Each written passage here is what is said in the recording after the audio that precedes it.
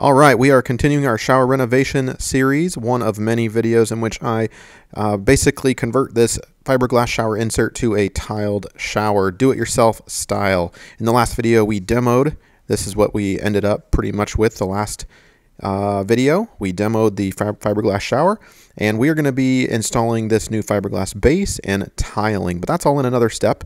In this video, we're going to be rebuilding the drain pipe because as you install a new shower base, fiberglass or acrylic, you have to make sure that drain pipe is adequately aligned. So I'm going to walk you through how I did this. Let me first slide the camera down inside the floor through the existing drain pipe hole or the cutout around the pipe itself.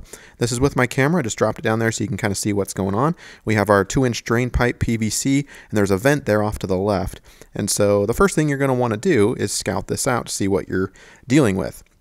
Now my old shower base, the actual fiberglass insert, was centered at roughly 18 and a half from that back wall to 30 inches from this wall. And so the new shower fiberglass uh, base is going to be similar, however not the same. If you could buy a shower base that does have the exact same drain alignment as your current one, that would be ideal because you don't have to bust into your floor and realign it. So as you could see there, I had about an 18 inch on center with the new shower glass shower pan fiberglass base. So what I'm going to have to do is basically move this drain over. And in order to move the drain over about a half an inch, I have to pull up the fiber or the uh, plywood floor here. And so to do this, I'm going to locate the studs underneath or the joists underneath the floor because I don't want to just cut a hole and have no place to kind of put it back into. So I'm going to adjust my circular saw at a 45 degree angle here. And we're going to make a cut, kind of a box shaped cut at a 45 degree angle. And you'll see why here in a minute, but this is going to allow me to basically build an access panel that can be put back and fully be supported for the most part. And I'm going to cut along the halfway halfway on the joist so that again when I put this panel back on later I can it'll have a place to rest on the joists. So we'll go ahead and get that saw blade adjusted at a 45 degree angle. And also I don't want to go too deep so I'm not cutting through my joist, right? That would be a terrible thing. So I'm going to adjust my blade height to about three quarters of an inch, which happens to be the thickness of the plywood. It's better to st start shallow and then you can work your way deeper. Look at that cut in just a second. I'll slide down a little screwdriver so you can see that and you can see the cut line as well. So you so I know that I didn't go deeper than I wanted to that my joists are still fully intact. And again you could see that it is at a 45 degree angle. So with my cut basically now complete I will take a pry bar and pry up that subfloor. You want to be gentle here because you want to put this back in a way that is secure and I don't have exact dimensions. It depends on how how much of the PVC pipe you need to access under there. So I figured I needed to cut up about this much so that I could access and reach and rebuild the PVC pipe under there. You might need to, you know, pull up more or less. But this gives me a good working area. So notice the joists there. Let me clean this up real quick We're using my handy multi-tool. If you don't have one of these, highly recommended. By the way, I'll put links down below for all the projects, all the you know handy tools and whatnot that I think are relevant for this particular stage of the project down below in the description. So check that out if you're interested. All right, see what I mean by putting the kind of the trapdoor back on? It's super secure. I don't have to build up anything. All right, so that is now done. And the next thing we're going to do is assess our PVC situation and try to figure out where is the best place to do a cut. Here's that multi-tool again. And I started out making a cut here and didn't like it, ended up having to make a new cut here. In other words, I'm going to take it out just where you saw me point, where I'm marking right now. I'll make a cut right there, clean that up, and basically rebuild the P-trap with the new measurements. So with my multi-tool blade, I will make sure that is as straight as possible, and I can use that old coupler, it's perfectly parallel, right, as kind of a guide.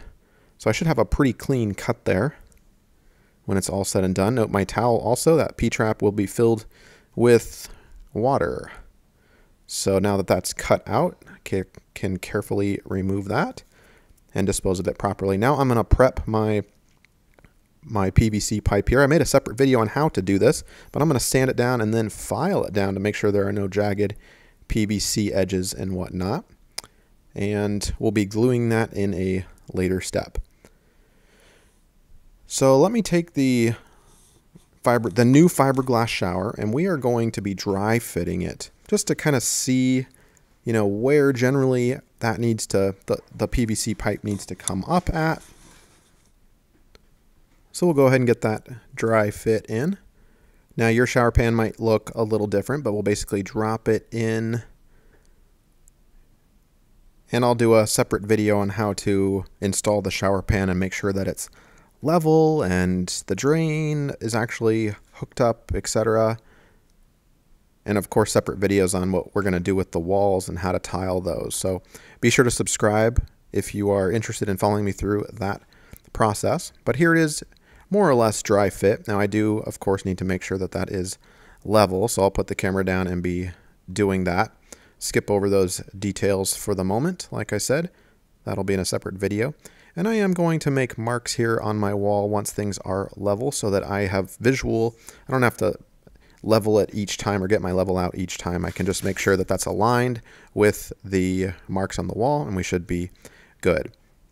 And obviously you want to make sure that once it's level, make sure that your shower pan actually shows that it will flow water downhill, so to speak. In other words, you don't want that part to be level. See that? That's bad news. You want to make sure it's tilted up like that so that water runs down. So you might need to do some adjustments and whatnot. And why are we taking care of the leveling in this stage? Because that's going to affect how far up you need to have your runner, your PVC drain. This part right here, the drain that's going to go up. It has to be a certain height. And your instructions should tell you how far up that drain needs to go from the floor. Okay. I found it handy to take a little shim and kind of tape that to the floor. And you can reach through it and whatnot and put a line directly where that center point is. Then that way you can remove the shower pan and you can still see that sour, that center point on the shim that you marked. All right, this is the brass drain that we will be installing on the shower pan. And this is another thing we're going to dry fit right now. We're not going to actually install it. We're just dry fitting, again, to give you an idea of where that pipe needs to kind of move up and, and exit the floor at. All right, with our leveling secure and our general idea of where our pipe needs to come up the floor at, we can start to cut our PVC pipe and start to kind of dry fit our pieces together. So all that is new. I just made several measurements um, with the pipe itself and then went out, took the old PVC into the store and just bought new PVC, pretty much the exact same pieces minus a couple 45 degree pieces. But um, I just built that out and then the, treat, the P-trap is exactly the same. So I know it's to code. And that's another thing you'll need to make sure you consult with local code, right? That's important. And of course, if you're not um, comfortable dealing with this kind of stuff, you'll need to uh, hire a licensed plumber because leaking water is nothing to mess around with. So I'm just dry fitting everything and I put the shower base back in with the drain and look at that. I know that if I make my cut somewhere there, now I do have to figure out how tall I need this to be, um, but the alignment is pretty much perfect. It's not crooked, it is level, it is square, it is pretty much exactly on. Not bad for a do-it-yourselfer, I think. All right, so I'll make my mark there on the pipe to see exactly where I need to cut it, noting the top of the brass because I don't want my pipe to be taller than that. That would be bad news. But it has to be coming out of that ground at the specified amount. So now that I'm happy with my PVC dry fitting, I'm going to make marks. These are just ambiguous markings, but basically when you glue these together, um, you're going to need to, uh, to glue them in the exact position that you dry fit them, right? That's how you ensure that when you permanently glue these together and you go back and to install it all, everything will be exactly the same. By the way, if your PVC dry fitting gets stuck, you can just take a little two inch drill bit, round side down, and just kind of pop that out because sometimes those smaller pieces dry fit are, uh, you want to make sure that they're compressed all the way as you do your measurements and dry fitting, right? And sometimes those little pieces can get kind of stuck, which is a huge pain in the butt. But if you have a vise and a little two inch drill bit, you can kind of tap that two inch PVC pipe out of the coupling without without issue and undamaged. All right, so next we are going to be ready to go ahead and install our 2-inch brass drain on our shower pan. Now you want to read the instructions. I'll put a link down below for this specific drain that I bought. Every drain I think is generally, well, they're all different, right? There are a lot of, a lot of varieties out there. Um, I know there are a couple, for example, Oatey and Easton, I think make two drains that are pretty much identical. Um, and depending on their recommendation, they're going to call for plumber's putty or silicone. Now, I prefer plumber's putty. The one that I had, the, the drain that I bought, did not call for a specific one. So I had to do some research and decide which one I wanted. And basically, plumber's putty, tried and true. Um, it's cleaner. If I have to reinstall this or make adjustments, I don't have to pull it out and cut anything off. I can just kind of pull it out and replace it. I don't know. It's not super clear to me which one you should use. So maybe do some research on that on your own. There's a lot of people that love silicone and a lot of people that love plumber's putty. So jury is still out on that. So we'll go ahead and take a bead of plumber's putty, nice and liberally, as you noticed, and we'll place it on the underside flange of that brass drain. And here's a look at the underside. There is a thin rubber washer, a paper washer, and a brass nut. In that order, those will be applied to the underside and tightened down by hand. And as you turn and twist by hand, there will be some resistance because of that uh, liberal application of plumber's putty on the other side, right? So there's what it looks like. It's got to basically depress all of that down. And as you tighten that nut underside on the underside, look at that. Look at it actually depress down very slowly. As you tighten that up, you want to make sure that that that drain goes downward, not in a lopsided way, right? You want to make sure it's nice and even. And then you'll take a little plumber's or a little uh, pipe wrench and then um, finish that up nice and tight. And you can peel that excess plumber's putty away and reuse that later. That is still good stuff.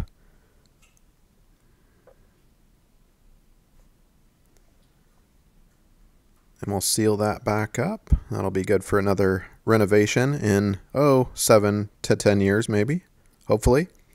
All right, and then we'll wipe that away with our fingers, the excess a little bit.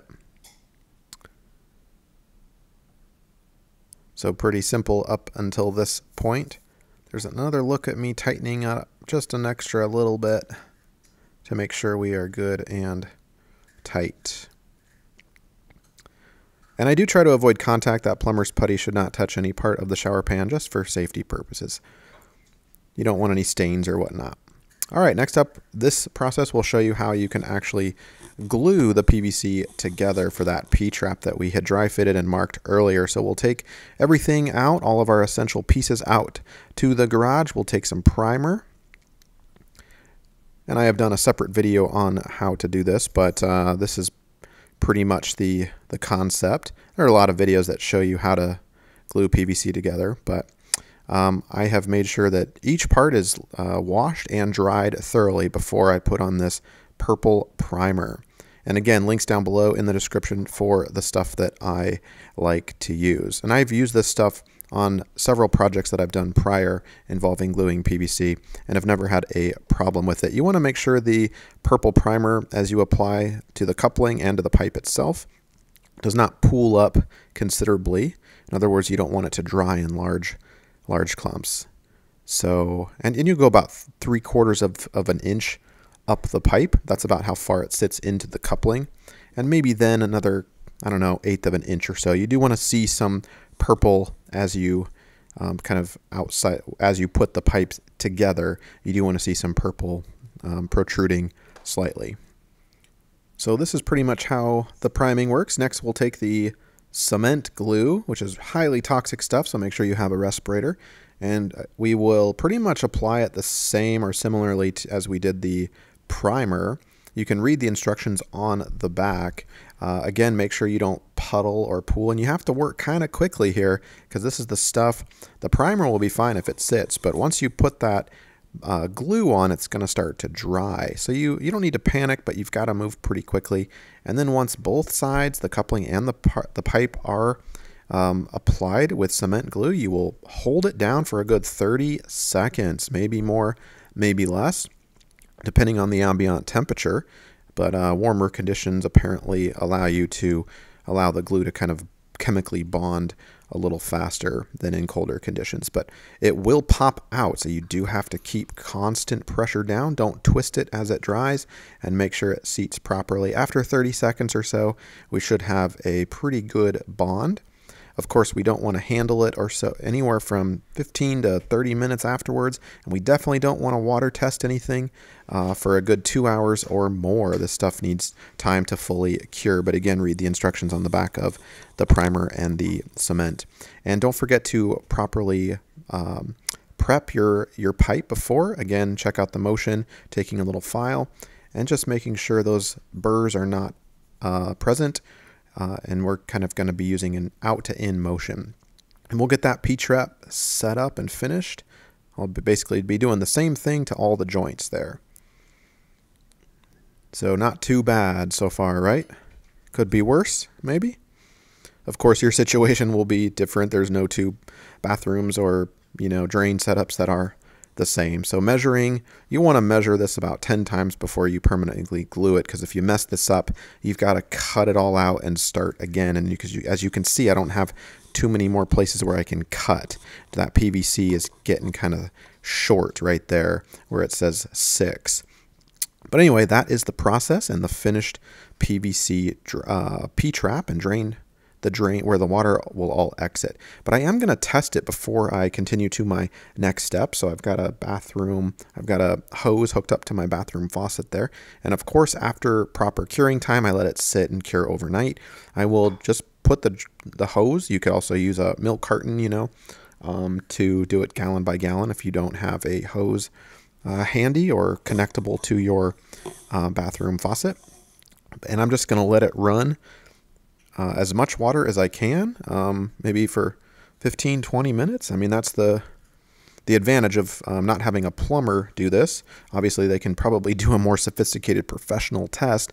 Uh, hopefully, there aren't too many people watching this that are cringing as I do this. But a do-it-yourself person like me, I can I can test it for 20 minutes, 30 minutes. I can just let it run, you know. And I think if there's no leaks happening, um, I am obviously reaching under there uh, at the joints that I just glued, and I'm feeling for moisture, right? I'm checking for any uh, water exiting,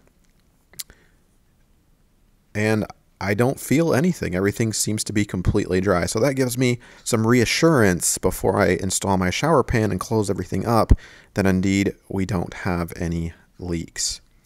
So I am pretty happy with that, and I think I can sleep well knowing that things are dry and tight. All right, but to be sure, I am going to apply a layer, a, a, kind of a protective layer for myself, my own purposes. I'm a bit crazy and obsessive here. I'm going to take some polyurethane and I'm going to wrap it around just like this so that if anything leaks once I close this floorboard up and I install that shower pan, if there's any water coming from my, my uh, PVC drain that I just built or the drain installation itself on the shower pan, that all water will be caught and will basically travel down in a downward way. I'm going to drill a, a, hole at the bottom of this, a hole that will go through the, the polyurethane. And I'm on the second floor of a house, so down below is just drywall. So I'm going to protrude, I'm going to drill through the hole, the drywall and the polyurethane, just like that.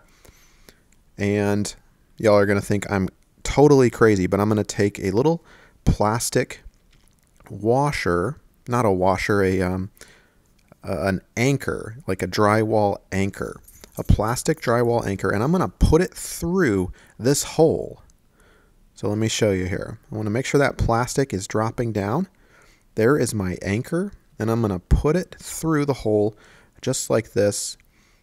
And I'm going to cut that to length because I don't want it sticking out of my drywall. So I'll do that in a, a step that you won't see, but this, the concept is similar. So that any water that's leaking will collect, travel down, and exit through that hole right there. In other words, I'm going to be able to see if there's a leak by going downstairs and checking the ceiling.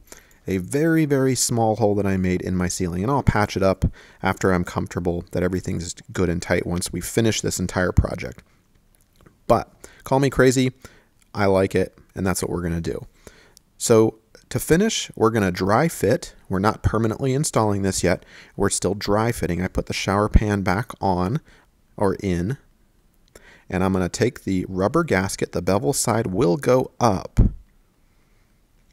in this particular drain, and it has to be pushed down. Get a little dish soap to help it travel a little easier. And it has to seat squarely on the bottom of the brass drain. In other words, push it down with a little by hand and then by with a little screwdriver until it can't go down any further. And then you'll take your castle nut, and of course you're going to want to put a little um, washcloth down the drain so you know your parts don't fall down. It does come with this little tightening tool that is very small and can easily be dropped down the drain. You do not want to do that. Okay, so we'll take the castle nut now and we will tighten it up. And that's going to depress the rubber gasket that we just put in and it will create a seal